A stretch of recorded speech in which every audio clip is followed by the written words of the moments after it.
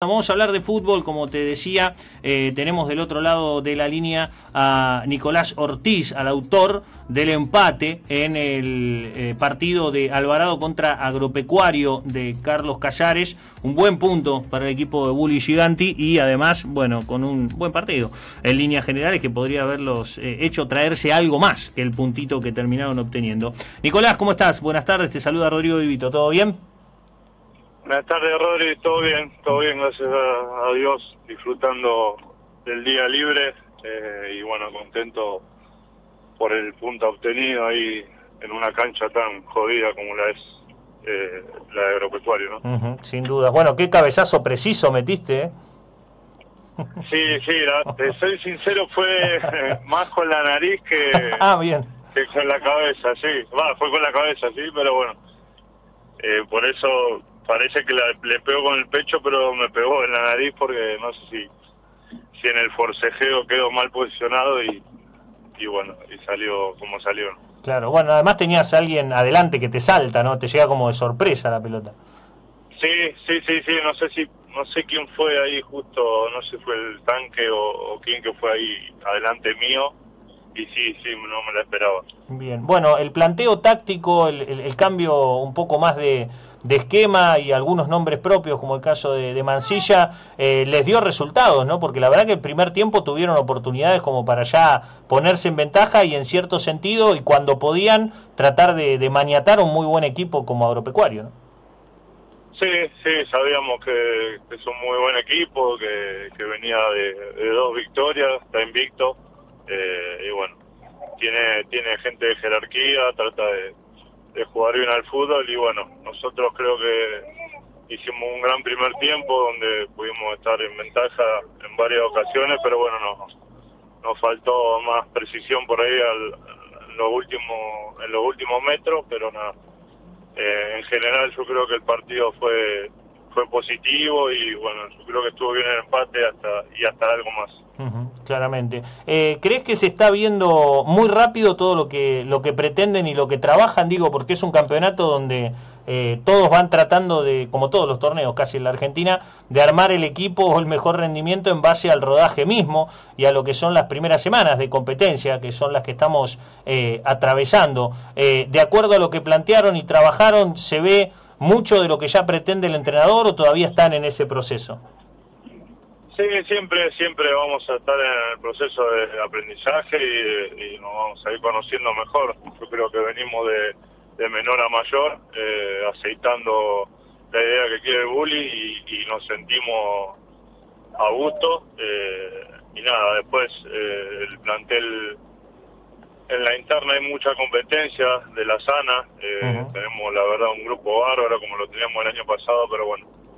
Eh, hoy en día tenemos eh, competencia dos o tres por puesto y que lo pueden hacer de una excelente manera, como bueno, se tocó en este caso a Mati eh, y a los chicos que entran en el banco que en estos partidos han entrado bien y, demuestra que, pueden estar. Bueno, sí, te toca perderte el próximo partido.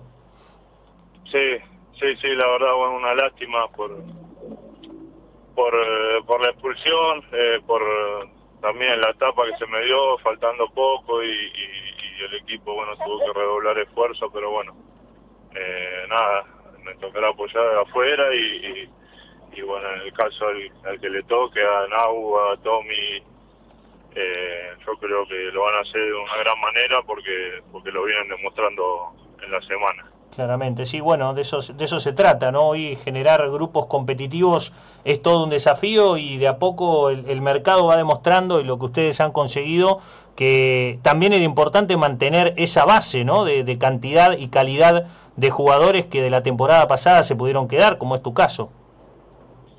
Sí, sí, sí, eso es lo que buscó eh, el club, la dirigencia, mantener esa base que que, es positivo para, para, bueno, para afrontar este año y, la gente nueva que ha venido, la verdad que, como te repito, es un grupo sanísimo, que todos intentamos eh, remar para el mismo lado y, bueno, yo creo que se va a ver reflejado eh, durante el año.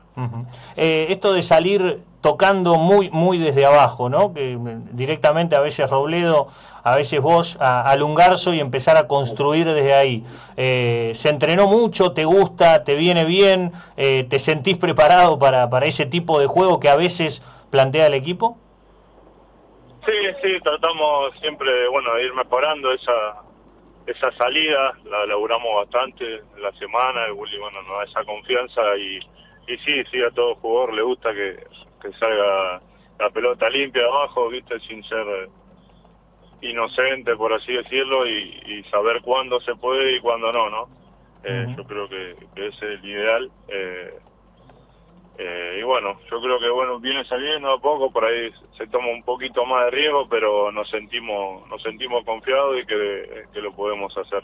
Claramente. Bueno, y en ese sentido, eh, ¿qué es lo que ves de, Mauricio Giganti como entrenador? no Porque es un, tipo muy querido en la casa, tiene ese, ese respaldo, ese backup, pero también eh, cuando llegó no conocía prácticamente a ningún jugador del grupo, ¿no? No lo había dirigido a ninguno, por lo menos, más allá de conocerlo, de, ser del ambiente, ¿no? ¿Qué es lo que ha sido viendo el entrenador con, con su idea, con su metodología de trabajo, que es lo que ustedes tienen todo el tiempo encima, Es un, es un técnico eh, muy claro en lo que quiere eh, de un equipo protagonista que se plantea en cualquier cancha igual igual y, y que confía en nosotros y sabe que lo podemos hacer. Después, bueno, como persona, 10 eh, puntos, la verdad que, él y, todo su comando técnico eh, son buena gente y, bueno, le ponen mucho amor a lo que hacen y eso la verdad que, que es importante. Bien, bueno, y vos en lo personal cada vez más afianzado en Mar del Plata y cómodo, ¿no? Sí, sí, la verdad que estoy muy contento acá con el club, con la gente, con mis compañeros, con la ciudad. La verdad que, tanto yo como mi familia estamos muy bien eh, y nada, eh, tratando siempre de mejorar, ¿no? A base de esfuerzo y trabajo, yo creo que que voy a ir mejorando, tratando siempre de ser lo profesional que fui en mi carrera y dando lo mejor para, para bueno, seguir creciendo como jugador. ¿no? Sin dudas, ahí te escuchamos con, con la familia detrás eh, y por eso también eh, específicamente te agradecemos que, nos puedas atender unos minutos. Nicolás, eh, gracias por el tiempo y bueno, que sea una buena temporada, se ha iniciado bien y esperemos que puedan seguir por ese camino. Un abrazo grande, gracias por el tiempo. Gracias a ustedes por la nota y bueno, un abrazo, hasta luego. Bueno, la palabra de Nicolás Ortiz, del Indio Ortiz, que eh, ayer anotó el gol en final del partido, hizo todo, anotó el gol y lo expulsaron, todo junto, en, jugadas casi consecutivas. Un cabezazo medio raro, si no lo viste al gol, te lo cuento, porque si no, no vas a entender de qué estábamos hablando. Es un córner que cae en el primer palo.